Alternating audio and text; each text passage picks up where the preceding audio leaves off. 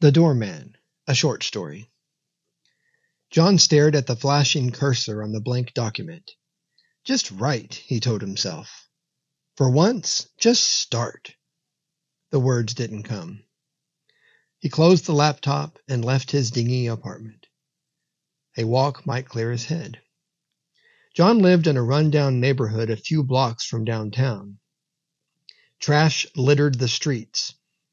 Graffiti coated the brick walls. He passed a small group of men drinking cheap beer in a dilapidated doorway. Hey, man, got a cigarette? John shook his head and kept walking. He hunched his shoulders, arms folded tight across his thin frame. As he neared the end of the block, a potent smell hit his nostrils. The sweet, acrid scent made his eyes sting.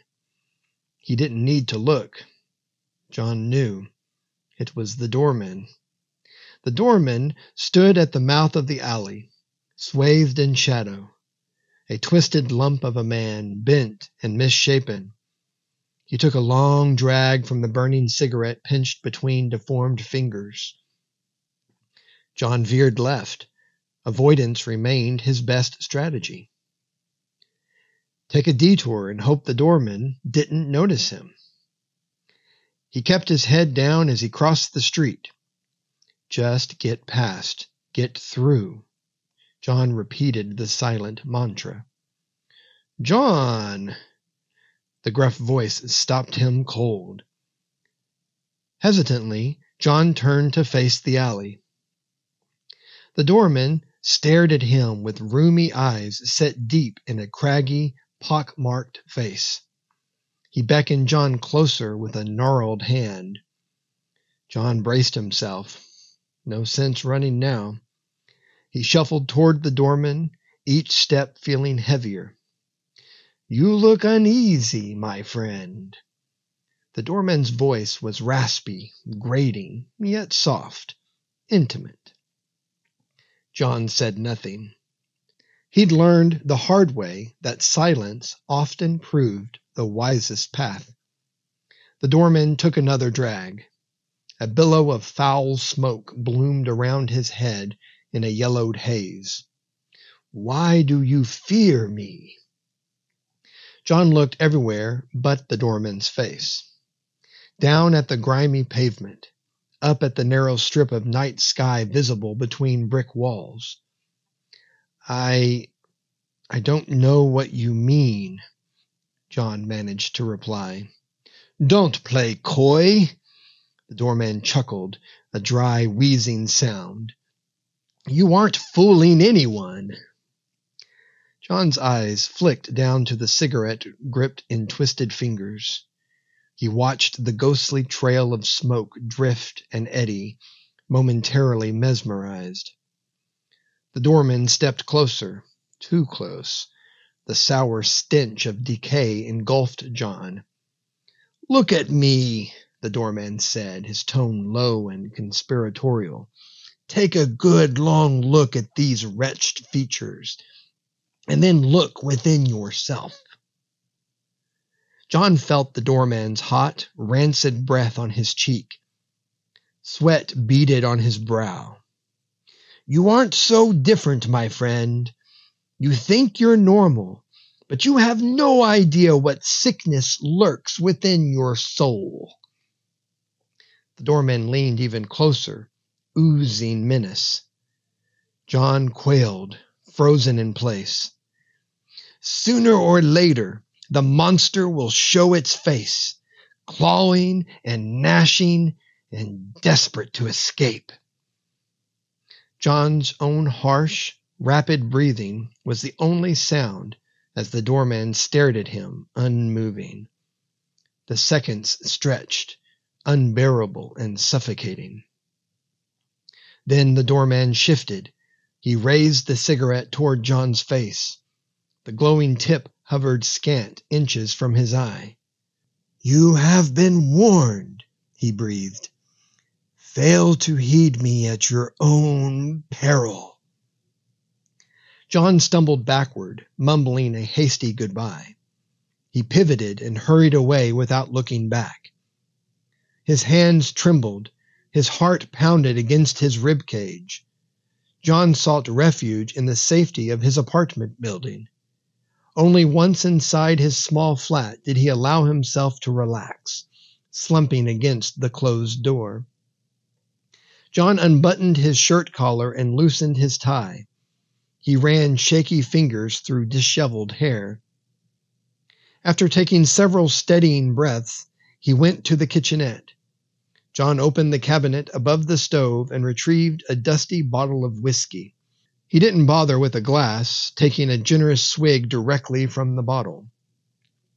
The harsh liquor scorched his throat and burned in his gut but it also steadied his nerves, slowed his racing pulse. Eventually, John returned to his laptop.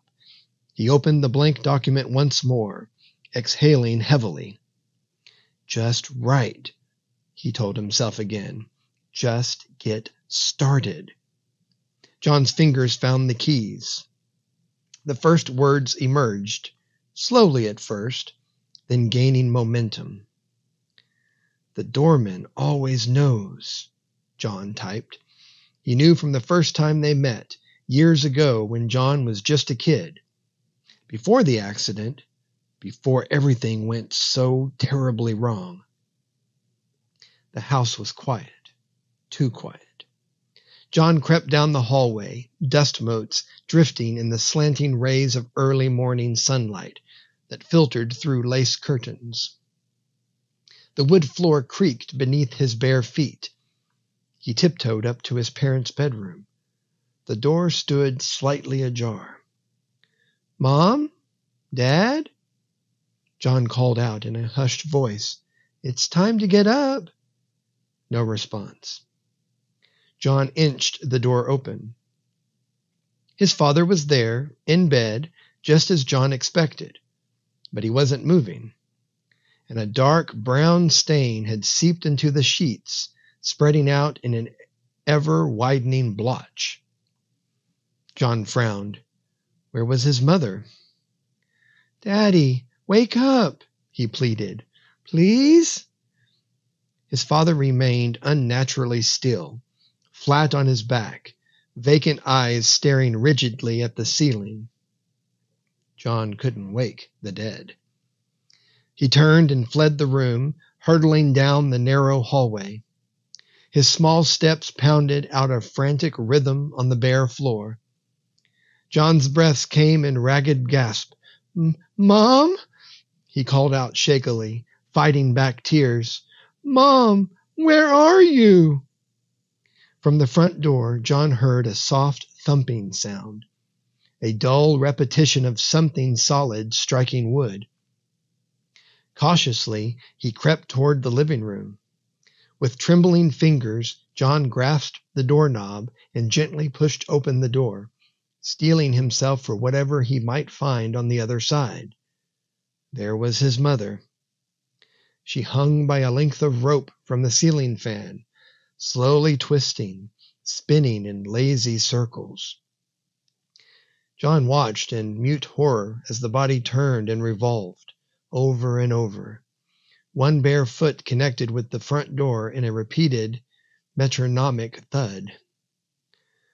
No, John choked out between shuddering breaths. Tears rolled down his ash pale face. No, no, no, he thought helplessly, a silent scream echoing through the depths of his shattered childhood innocence. This can't be real. It's not real. Strong hands seized John's shoulders. A gaunt, looming figure suddenly appeared in his field of vision, blotting out the horror.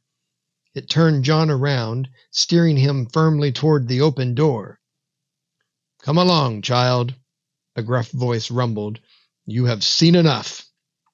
John staggered numbly toward the figure's relentless shove. He tried to look back, catch one more glimpse of his mother's twisted form, but the figure kept propelling him forward. Do not fight it, the voice said soothingly. Acceptance will make the pain pass quicker. John staggered down the porch steps, his feet scraping bare concrete. They reached the sidewalk, and still the figure remained, a looming, hunched presence by his side. John looked up at his apparent benefactor, blinked slowly, struggling to focus his bleary, tear stained eyes. It was no man, at least not a normal one. The figure was severely disfigured. An unnatural hunchback curved and bent the spine sharply. Twisted limbs protruded at odd angles, the hands a hideous tangle of wasted flesh and yellowed claws. Most disturbing of all was the face. Mere glimpses of it seared themselves into John's memory like white hot brands. A cratered, sallow visage ravaged by a mosaic of oozing sores. Pustules clustered and festered around the hollows where eyes should have been. A pale slug writhed from a sunken pit in place of the nose. The doorman, as John would soon learn to call him, had arrived. The monster said nothing at first, simply placed a hand on John's small shoulder and steered him down the cracked sidewalk. Block after block they walked in silence. John too numb and confused to fight or protest. Finally, the doorman rumbled, I know what you just witnessed seems like an inhuman nightmare, but I assure you, child, it is all too real. And it is far from the worst you will face if you shrink from the path ahead. John fought down dry heaves, his stomach threatening to expel what little he'd eaten the night before. Who, who are you? John forced the words out between shuddering gasps. What do you want? I am the doorman, came the wheezing reply. I am here to show you the truth you have glimpsed today. The truth that lies just beyond perception's fragile veil and separates our inescapable reality from the comforting illusion most humans prefer. John frowned, bewildered and exhausted beyond his young years. The two walked in silence once more. Around them, the neighborhood scenery steadily shifted from rows of houses to boarded up storefronts and dilapidated tenements. The city closed in around John and the doorman until they at last reached a darkened alley. The doorman stopped in the shadowed recesses between two rundown brick buildings. He fixed John with an unnerving stare, his face an obscene mockery. The time has come for your initiation, the doorman growled. Will you accept your place among the few who walk the true path of enlightenment? Or will you flee into the blissful haze of denial like the rest? John's reply was instant, unreserved. I want to go home. Please, let me go. If the doorman heard the plea, he showed no outward sign. He raised a gnarled finger and pointed down the alley into the inky shadows at the far end. The dead end terminated in a crumbling brick wall encrusted with decades of grime and graffiti. And set into that wall, a doorway. Even from a distance, John could see it. Darkness radiated from the doorway. He didn't simply mean an absence of light, a mere lack of illumination. It looked, felt, like some form of pure malevolence. A profound evil, both seductive in its intensity, yet repugnant and sickening. A gravity well of madness that he could sense instinctively in the pit of his soul. That is your gateway, should you choose to embrace it, the doorman said almost casually, as if propositioning a small child to stroll through a hellish portal were the most ordinary occurrence. John took a faltering step backward, eyes wide with panic and disbelief. No, I can't. I won't. You're insane. He turned and tried to run. An iron grip seized his arm, fingers digging into soft flesh. John whelped in pain as the doorman wrenched him back, spinning him around in a single effortless motion. They stood face to mangled face. You do not yet comprehend your circumstance, child, the raspy voice growled. I did not bring you here by random chance. You have been chosen. The smell of sulfur and decay enveloped John in toxic fumes. Somewhere behind that grotesque mask of disfigurement burned the fires of an unholy revelation. The doorway represents the path all must traverse before they can achieve true insight into the reality that surrounds us. The doorman continued in silken tones a reality created through our own delusions and lies, made solid in the perception of the masses. John's mouth gaped open, his chest hitching in little sobs of pure terror. The whispered words washed over his goose pimpled skin like an icy fog, plucking at the final threads of his tattered sanity.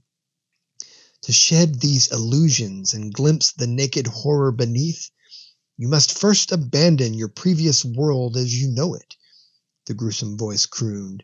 One foot after the other, you must walk through that doorway of your own free will and surrender to the knowledge it offers.